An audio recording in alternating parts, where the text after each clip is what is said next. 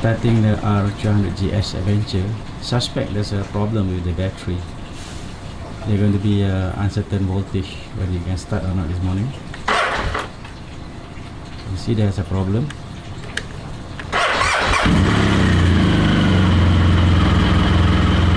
Having some issue with the starting of this GS200 Adventure. I suspect the battery is a bit weak.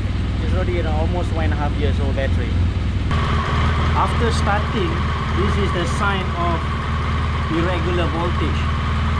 The heater grips switch on full.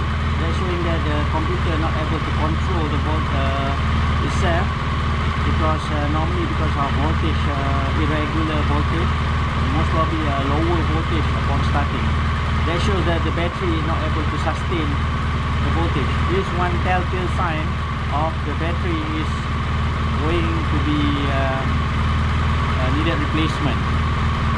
So I'm going to take it, this bike now to BMW for them to have a check because I'm having uh, difficulties in starting uh, about three or four occasions already. So a bit uh, having no confidence in the ability for this battery to sustain the uh, operation of this bike if I need it over long distance. So uh, over to BMW or Auto Bavaria. At least let them diagnose and probably replace the battery. And still, since the, the since this motorcycle is still under warranty I do not want to touch any part of it. Uh, let them have a look and uh, replace as necessary